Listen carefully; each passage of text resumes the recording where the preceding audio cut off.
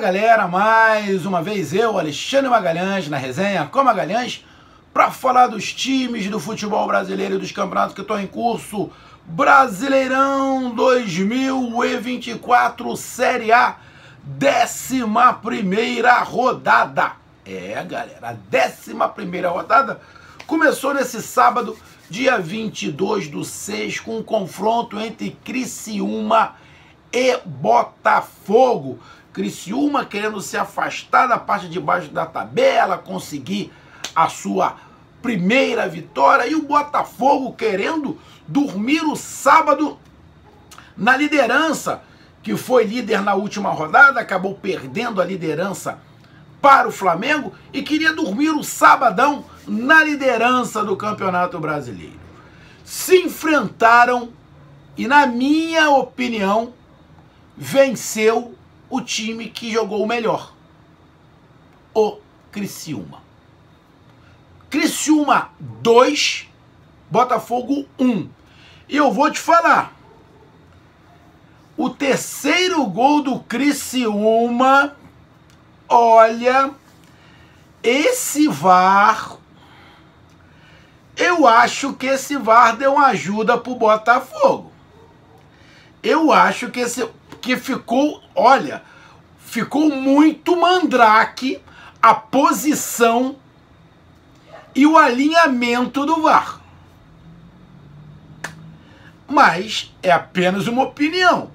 Mas eu acho que o VAR deu uma ajuda ao Botafogo, que poderia ter sido pior. Então, vamos falar de Criciúma 2, Botafogo 1. Vamos falar da classificação e algumas coisas né, que aconteceram durante o jogo, a gente vai fazer análise, e algumas coisas que aconteceram durante o jogo e de um panorama geral. Então eu peço a você, meu amigo torcedor botafoguense, eu peço a você, meu amigo torcedor do Criciúma, eu peço que você curta, compartilhe, inscreva-se no canal, dê o seu like, ative a notificação, coloque os comentários entre no nosso WhatsApp, que está aqui embaixo na descrição do canal. Você vai lá do seu nome, o time que você torce, que eu coloco você no grupo do seu time. Só para lembrar, para falar de futebol, não é para falar de política e nem de religião. E se você quiser ajudar o canal a crescer, você pode ajudar através do Pix, que é o número do nosso WhatsApp. Você pode ajudar através do Superchat, quando estiver fazendo lives. E você pode ajudar através do clube de membro do canal Rosé com uma grande aqui embaixo de azul. E agora você pode ajudar através do Valeu, que é esse coração que cifrão que está do lado de compartilhar. E mais uma coisa, não deixe de se inscrever no canal, porque mais da metade da galera que acompanha o canal não é inscrito. Então dê essa moral e inscreva-se no canal. Cara, é... Vamos lá, cara. Deixa eu, deixa eu, deixa eu aqui falar umas coisinhas rápidas, né? É... Para meus amigos botafoguenses. Eu tenho grandes amigos botafoguenses, um que trabalha comigo, né? Trabalha comigo já, já é, é, é há algum tempo, né? É, deixa eu dar uma olhada aqui. Deixa eu dar uma olhada aqui rápida. É, o meu amigo Souza Júnior, que trabalha comigo, é, o meu amigo Raimundo Nonato, lá de, de Rocha Miranda. É, deixa eu pegar aqui. É, deixa eu ver aqui para cogitar. É, é, é. Deixa eu ver aqui, queria dar uma olhada aqui melhor, mas não tem. O meu amigo Felipe, Bom, grandes botafoguenses que eu que eu conheço, conheci há pouco tempo. Ah, meu amigo lá do Pôr de Gasolina, né? Falou que não é São Gonçalo, é Itaboraí. Ano passado, ano passado, no segundo turno, ninguém tinha falado sobre isso. Eu cheguei pro meu amigo Souza Júnior e falei isso. Ô, Souza Júnior, o Botafogo está caindo de produção. Só que o Botafogo estava ganhando. O Botafogo estava ganhando. Não foi naquele período que o Botafogo fez aquela vergonha, não. O Botafogo, no segundo turno, o período estava ganhando. Eu falei, ô Souza Júnior, o Botafogo está caindo de produção. Ele, tá nada, foi um jogo só. Eu falei, não é. O time está caindo de produção. Depois aconteceu o que a gente já sabe que aconteceu. E aí o Sandro Júnior falou: Porra, que boca. Eu falei: Não é boca. É só enxergar como um time está jogando e como é que ele começa a jogar. Tem um determinado momento que ele joga tranquilo. E, e é só tu começar a perceber que quando o time começa a fazer muita força para manter o que era, é porque a coisa está começando a cair. O Botafogo está nessa fase.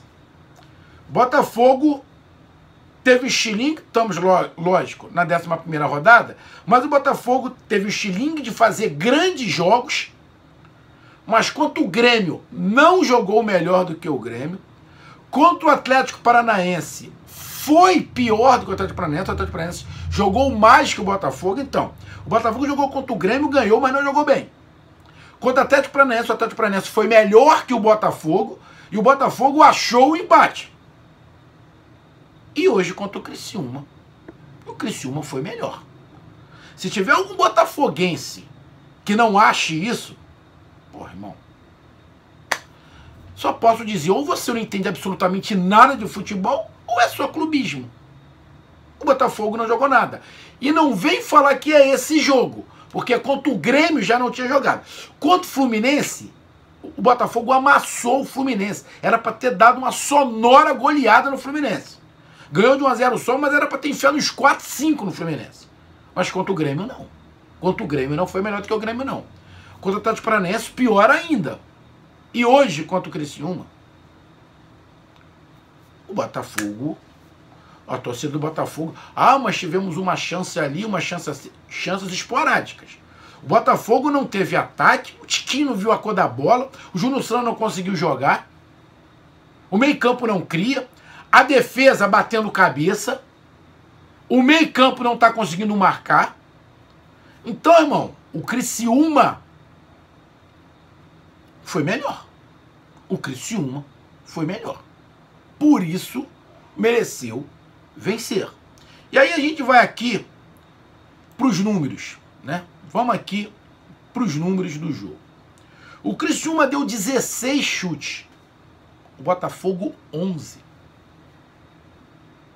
Só por aí você já vê que o Botafogo tá diferente. Lógico, a gente tem que dar crédito ao Criciúma. Porque aí a impressão que vai estar, tá, ah, o Criciúma só ganhou porque o Botafogo não jogou nada. Não, não, não. O Botafogo vem caindo de produção, sim. Mas o Criciúma ajudou também o Botafogo a não jogar. Agora, meu amigo torcedor botafoguense, o que está acontecendo com o Botafogo, eu acho normal. Eu acho normal. O que não foi normal é o que o Botafogo fez ano passado, pô. O Botafogo no passado, na boa, na boa, sem clubismo. O Botafogo tinha condições, com o time que o Botafogo tem, de fazer o que fez ano passado? Não, não tinha. O time do Botafogo não era para aquilo tudo. O que estava acontecendo com o Botafogo era uma coisa fora do cenário. E aí acabou perdendo todo o gás no final e foi aquele, aquele fiasco. Mas o que está acontecendo esse ano, o que está acontecendo agora, eu acho normal. O que, que é? Uma oscilação. Uma oscilação. Acho muito mais viável o Botafogo chegar no final do campeonato brigando pelo título do que do ano passado. Porque essa oscilação do Botafogo é uma oscilação normal que vai acontecer com todo mundo. Então, eu não vejo momento nenhum para desespero de nada. Primeiro que o Botafogo está lá em cima. E essa oscilação, na minha opinião, é normal. Normal. Uma oscilação normal de um time que vai ficar na parte de cima da tabela e que vai oscilar. Que vai oscilar. É, então, o Criciúma deu 16 chutes e o Botafogo 11. O Criciúma deu 4 chutes em direção ao gol. O Botafogo só 2. E aí você vê, quando o Júnior Santos não consegue jogar, irmão, rebenta 40%, 50% do time do Botafogo. O time do Botafogo depende muito do Júnior Santos. Muito. Como já dependeu muito do Tiquinho. Né? É, o Oscar Romero, que joga ali pelo lado direito, eu acho ele um bom jogador e só. Só, só, só, só. E acho jogador só para compor elenco. Né? Pelo lado. Ah, Magalhães, mas o Botafogo estava desfalcado. Bom. a gente está numa época de Copa América, que o campeonato não parou. Acho que o Botafogo e a torcida do Botafogo não queria que o campeonato parasse, e a gente sabe por quê. Né? Bom, não pode reclamar, porque desfalcado uma porrada de time tá. Aqui do Brasil foram é, convocados 32 ou 33 jogadores. Então, tem pelo menos aí uns 7, 8 times que perderam jogadores. Então, qualquer clube falar em desfalque é chororô. Então não pode se falar em desfalque. Não tem direito de falar de desfalque. Ah, mas o meu time está desfalcado. Ué, mas os outros não estão? O Inter está desfalcado de 3, o Atlético Mineiro está desfalcado de 3, o Palmeiras de 3, o Flamengo de 5. Ué, o Bahia está desfalcado de 1, o Bragantino está desfalcado de 1. Então, parceiro.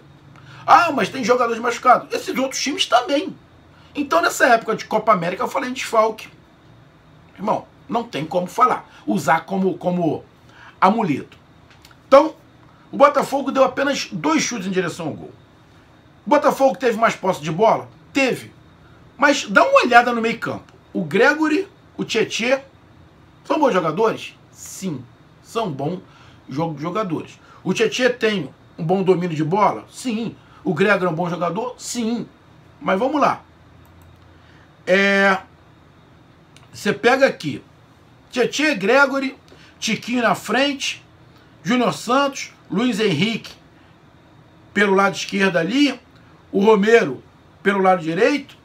Bom, Luiz Henrique não é um cara de segurar a bola. Romero também não. Júnior Santos é de velocidade. O Tiquinho até segura lá na frente. Ou seja, você tem dois volantes. E ninguém criou no primeiro tempo. Depois entrou o Eduardo. E na minha opinião, o Eduardo é um jogador médio.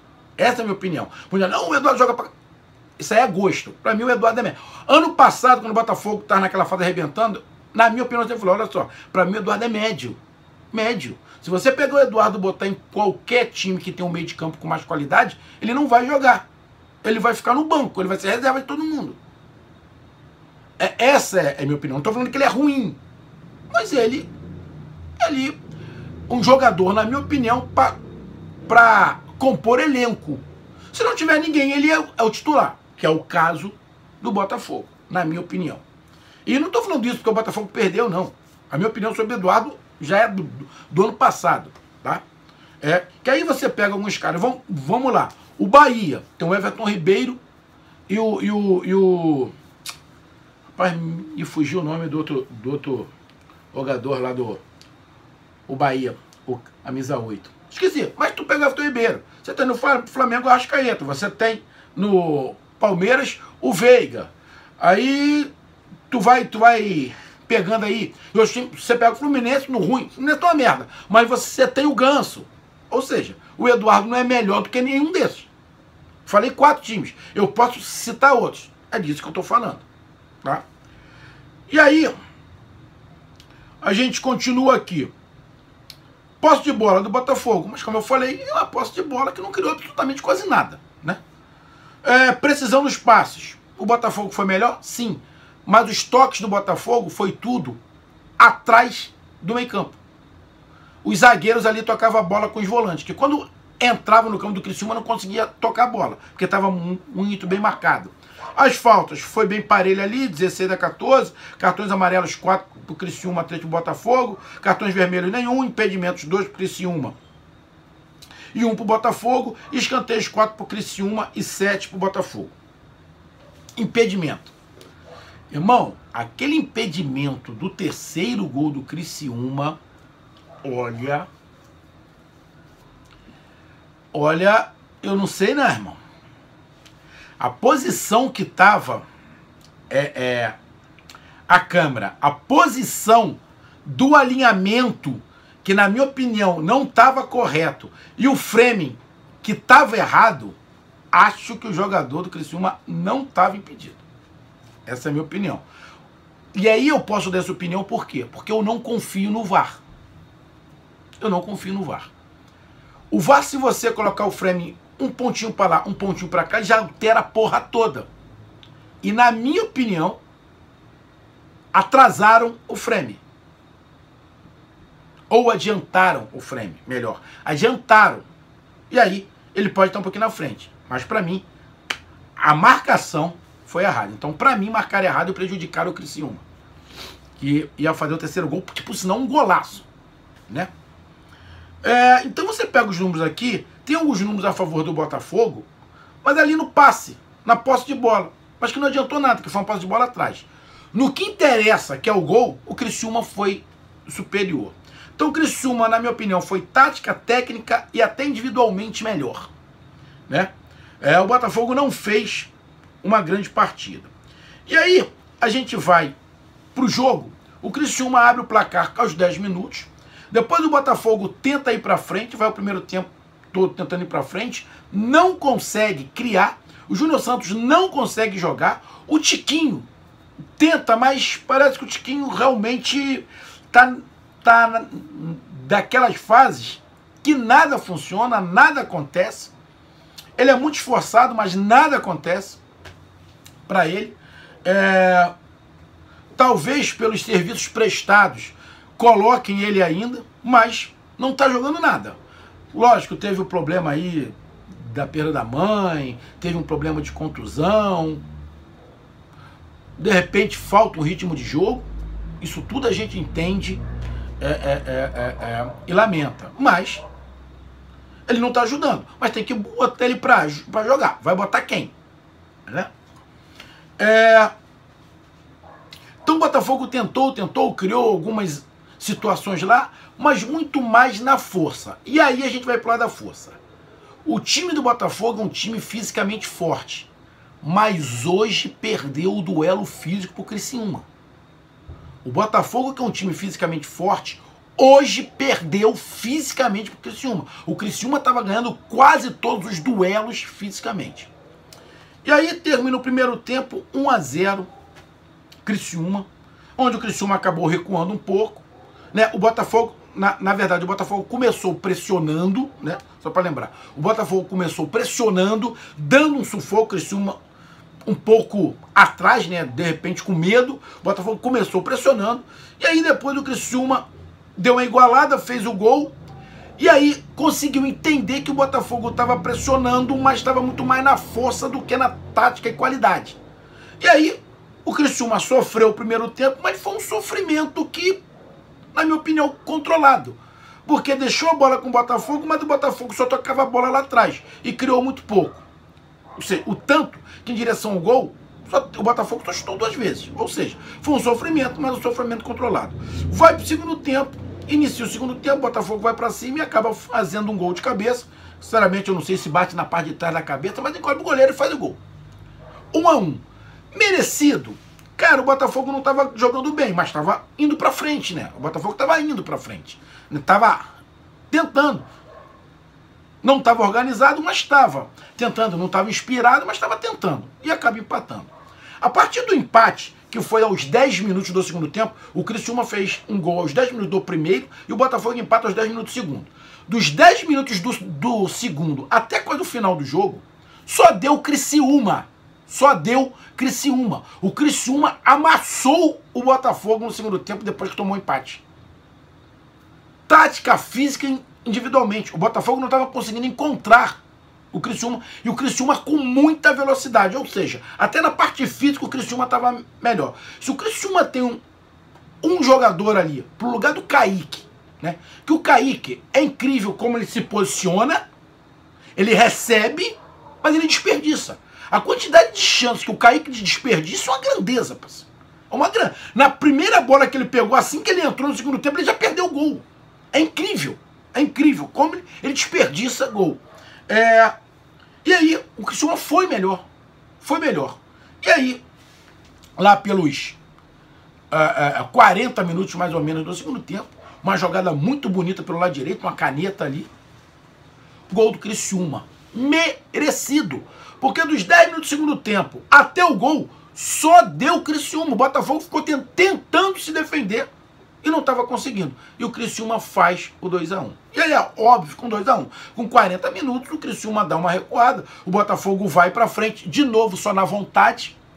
cria até uma oportunidade de cabeçada que passou perto, pá, coisa e tal, mas aí num contra-ataque rápido, o Criciúma faz o terceiro gol, que para mim o VAR deu uma garfada no Criciúma, essa é só a minha opinião.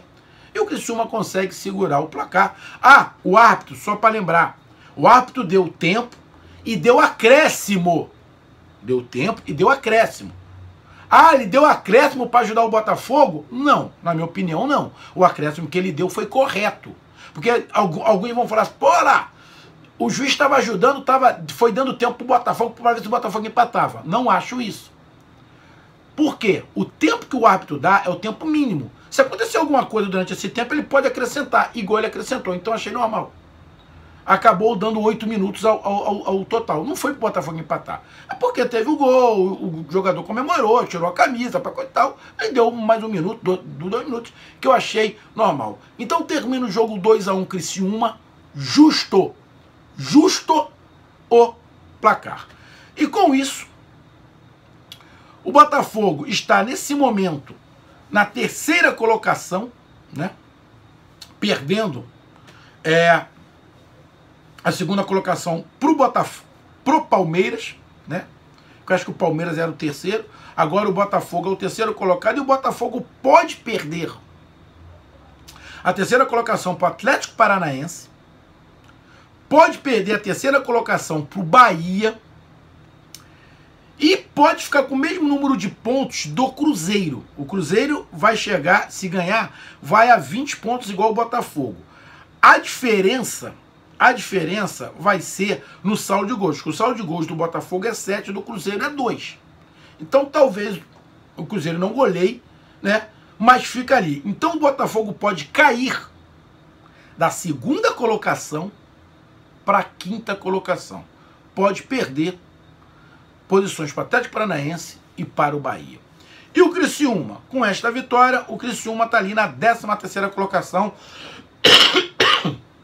com 12 pontos em nove jogos. É, o Cuiabá vai, vai jogar, pode chegar a 13, pode passar o Criciúma. O Vitória vai jogar, pode chegar a 12 pontos, ficar com o mesmo número de pontos do Criciúma, só que o, o Vitória tem um saldo menos 5. Então, dificilmente o Vitória vai passar o Criciúma. Mas o Cuiabá vencendo passa o Criciúma. Então, o Criciúma pode terminar a rodada na 14 colocação, perdendo ali a posição para o Cuiabá. Mas mesmo assim, 12 pontos, já abre nesse momento 5 pontos para o primeiro time na zona do rebaixamento, que está ali com 7 pontos. É a briga para se afastar de lá. Então, é, é, conseguiu fazer o seu objetivo e conseguiu aí é, o Criciúma, deixa eu pegar aqui, o Criciúma é, mais uma vitória, a terceira vitória do Criciúma, mas eu acho que é a primeira vitória do Criciúma em casa. Se não estiver enganado, é a primeira vitória do Criciúma em casa, que as outras duas foram fora de casa. Ganhou do Vasco de goleada, e aqui eu estou tentando lembrar outra qual foi. Mas ganhou do Vasco de goleada e teve uma outra vitória fora de casa, agora não estou me, lembro, me lembrando contra quem foi. Então tá aí a minha análise, um grande abraço, até mais, valeu, tamo junto, fui, um abraço, tchau.